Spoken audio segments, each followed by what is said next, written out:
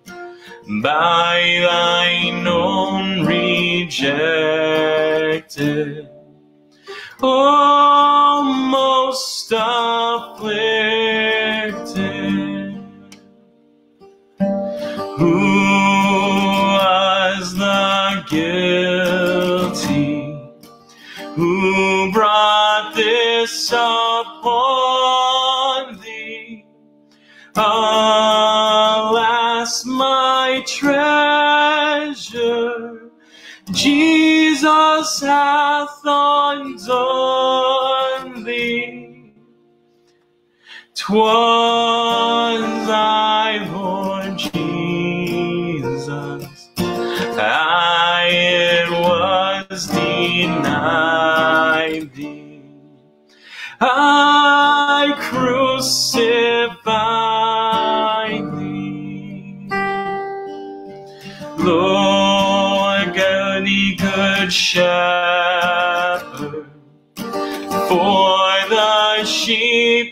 is offered. The slain hath sinned, and the Son hath suffered for our atonement, while we nothing.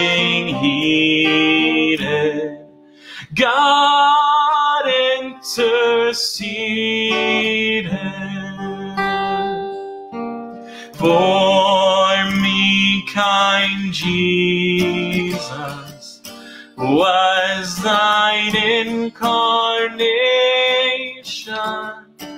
thy mortal sorrow, and thy life's oblation. Thy death of anguish, and thy bitter passion for my salvation. Therefore, kind Jesus, since I cannot pay I do adore thee and will ever pray thee. Think on thy pity and thy love unswerving, not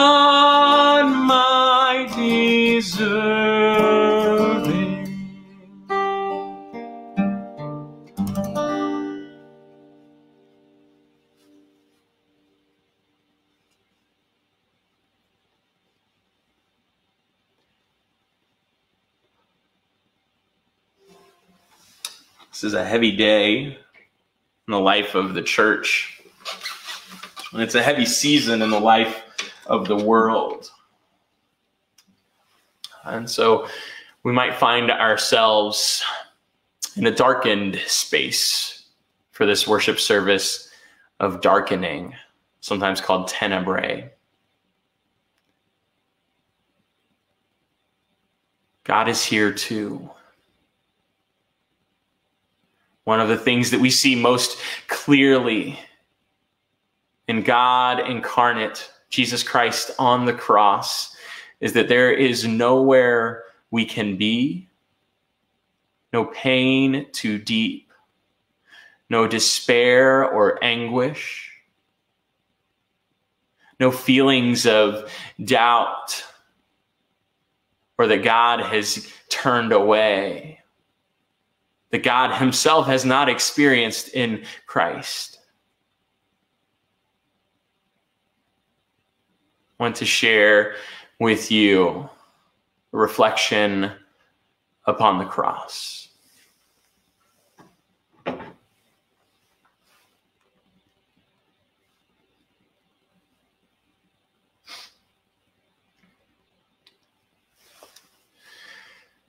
When we look upon the cross, what we see is an instrument of death created by people, people in power who won through defeat of their enemies and like to put them on public display. You see, the cross is our demand for blood. It's our thirst for blood. It's our instrument of death. It's a an instrument of our own making that is to end life. And yet we see Jesus upon this cross with a refusal to retaliate. He does not call for vengeance. In fact, he does the opposite. He offers forgiveness. It's our sinfulness. It's our desires for what we want and our disregard for what we need. It's our failure to recognize that we are beloved and that so is everyone on this earth. It is our violence and our separation from God and one another that nail Christ to the cross. And there he's hung with arms open, an offer of forgiveness and no condemnation. Even today, we might look upon a death like this and call it a show of weakness and a lack of power. He does not, he, he seemingly cannot save himself. Why would he not if he had the power to do so? We might think hope is for the fools.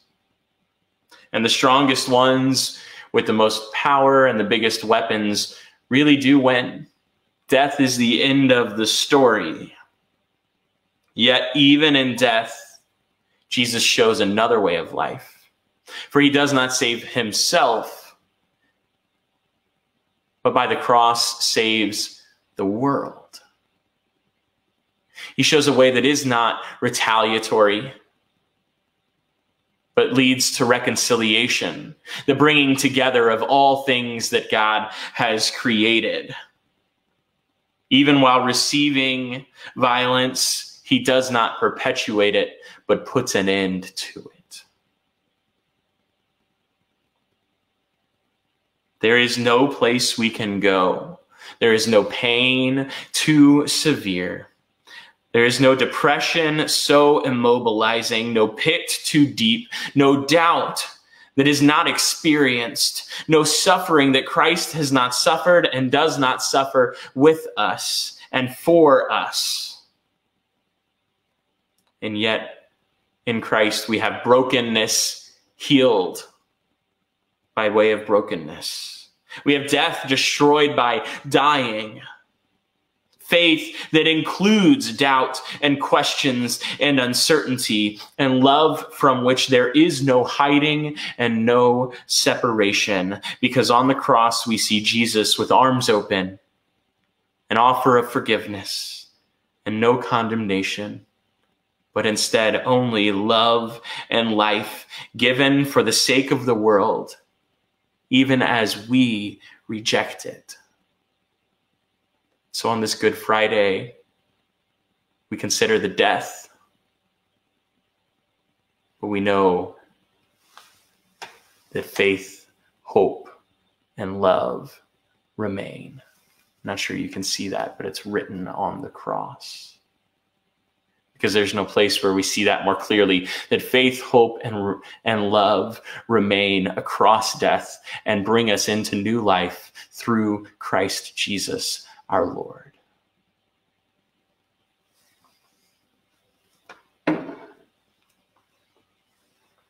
I'm going to invite you to spend some time in prayer with me. Uh, there is uh, there will be an introduction of a prayer, an invitation to silence, and then a response following up that prayer petition. This series of prayers is included in our email liturgy as well as in our bulletin for Good Friday.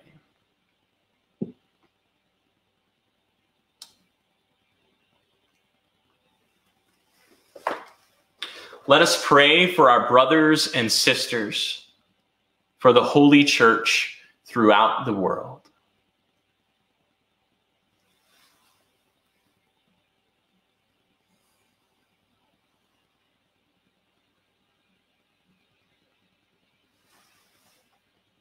Almighty and eternal God, you have shown your glory to all nations in Jesus Christ. By your Holy Spirit, guide the church and gather it throughout the world. Help it to persevere in faith, proclaim your name, and bring the good news of salvation in Christ to all people. We ask this through Christ our Lord. Amen. I invite you to share your amens in the chat tonight as we pray together. Also, any prayer requests you might have, share them that we might pray for one another. Let us pray for Elizabeth and Sue, our bishops, for our pastor, for all servants of the church, and for all the people of God.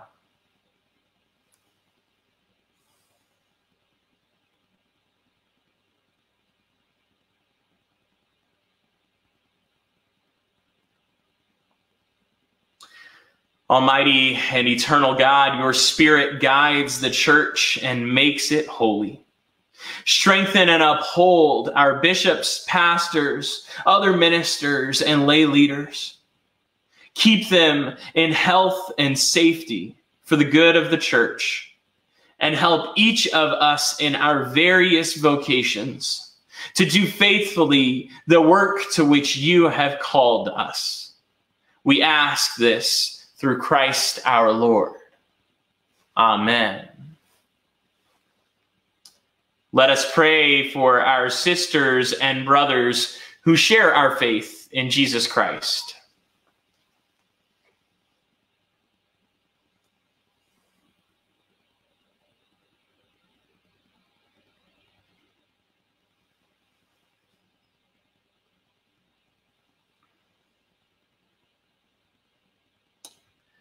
Almighty and eternal God, you give your church unity. Look with favor on all who follow Jesus, your Son. Make all the baptized one in the fullness of faith and keep us united in the fellowship of love. We ask this through Christ our Lord. Amen.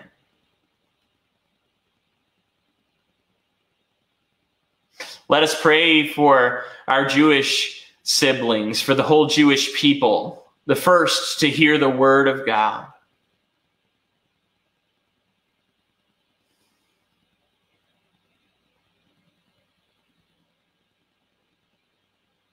Almighty and eternal God, long ago you gave your promise to Abraham and your teaching to Moses. Hear our prayers that the people you called and elected as your own receive the fulfillment of the covenant's promise. We ask this through Christ our Lord. Amen. Let us pray for those who do not share our faith in Jesus Christ.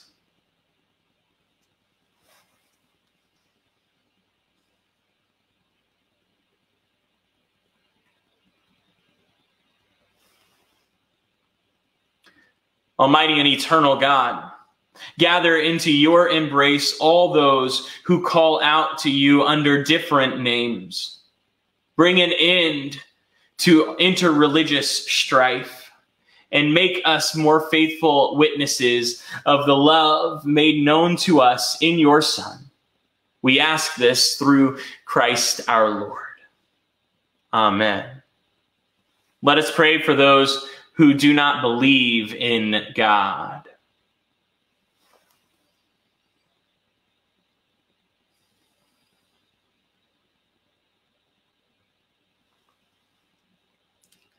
Almighty and eternal God, you created humanity so that all may long to know you and find peace in you. Grant that all may recognize the signs of your love and grace in the world and the lives of, of Christians and gladly trust you as the one true God. We ask this through Christ our Lord. Amen. Let us pray for God's creation.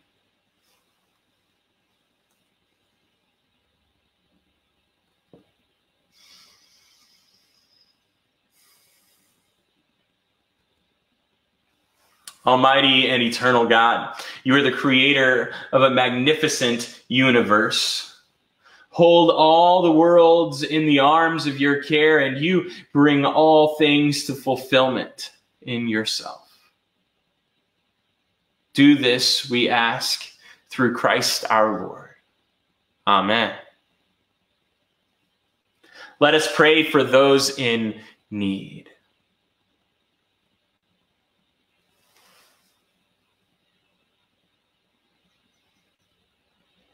For the people of the world struggling with this coronavirus, for all those who are sick or hungry or homeless or have any need, God.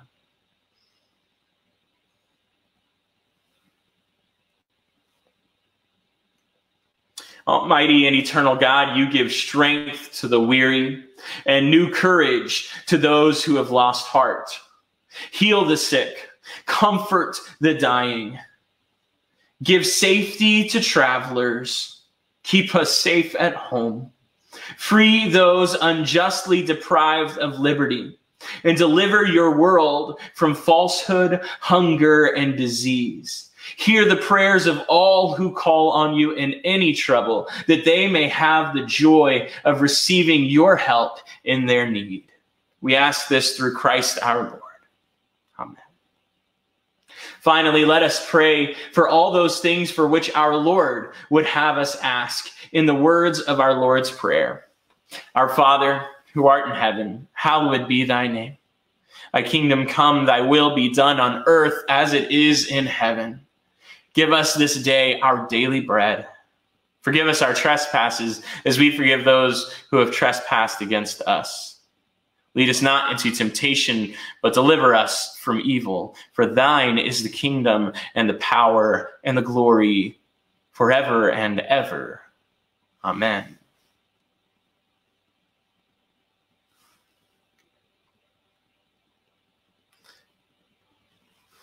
As I mentioned, uh, soon, I'll be posting a video that has an extended adoration of the cross uh, and uh, an a cappella singing of Were You There When They Crucified My Lord? But I thought we might sing that this evening. It's the end of our worship and let it lead us into reflection and prayer. And I'll share that more extended version uh, video in a link below. It should be going live on our Facebook page soon. for that. Uh, one last check in.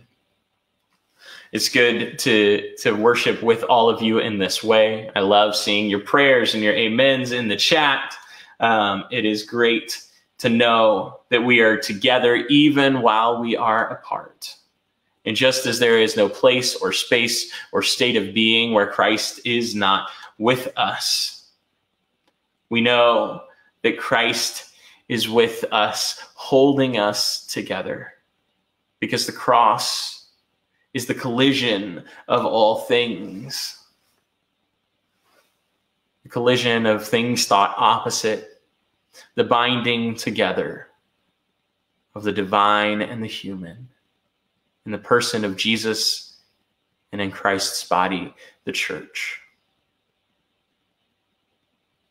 Let us now behold the cross, an instrument of death that God has turned into an instrument of life for the sake of the whole world.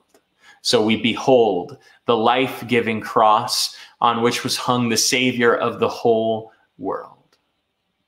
Oh, come, let us worship him.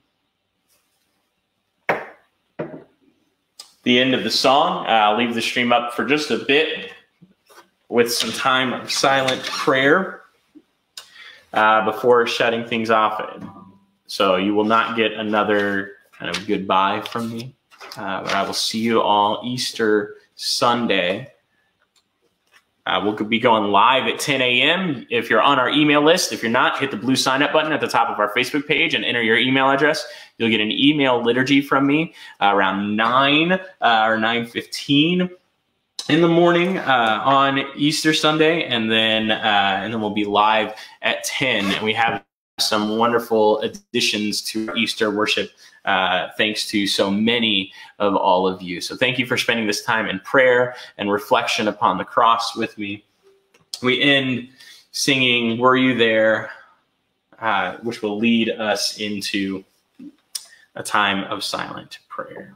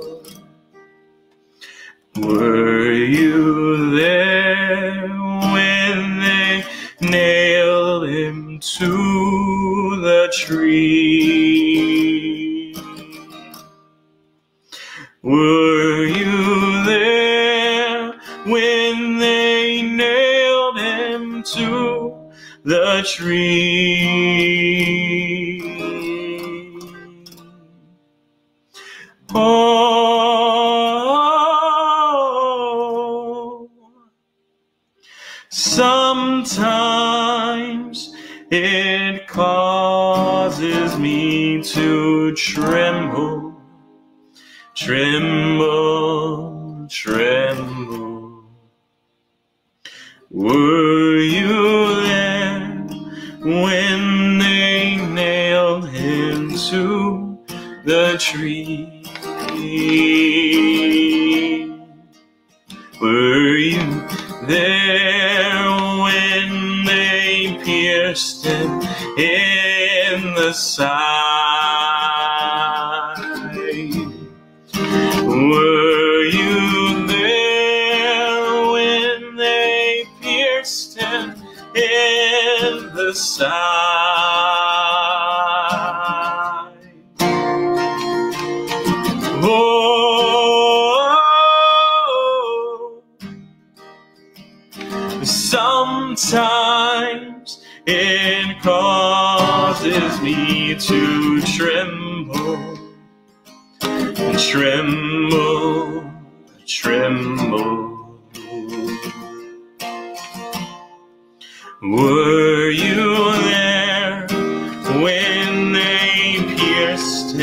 Him in the side? Were you there when the sun refused to shine? Were you there when the sun refused to shine? Oh, sometimes it causes me to tremble, tremble, tremble. Were you there when the sun refused to shine? Were you there when they laid him in the tomb?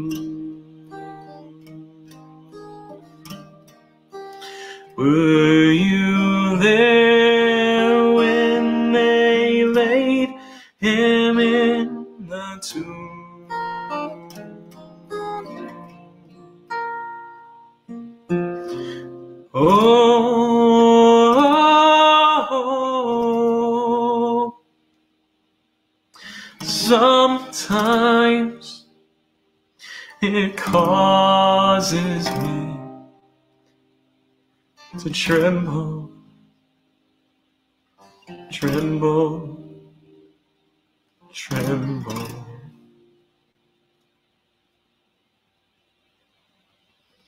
Were you there when they laid him in the tomb?